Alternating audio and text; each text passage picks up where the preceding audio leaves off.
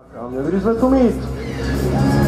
Nevím, jestli jediný diesel, ale rozhodně jeden z mála dieselových vozů a samozřejmě to není nikdo jiný než bratři Bočkovi, protože samozřejmě jakmile se řekne diesel, proč, proč se ti vlastně takhle ty diesely líbí? Je to nějaký specifický důvod, je to ten krouťák nebo proč?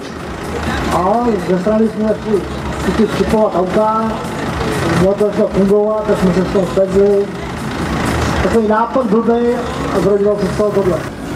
Bratři Bočkovi hrají krásný Seat Leon turbo dieselu. Já si myslím, že to bude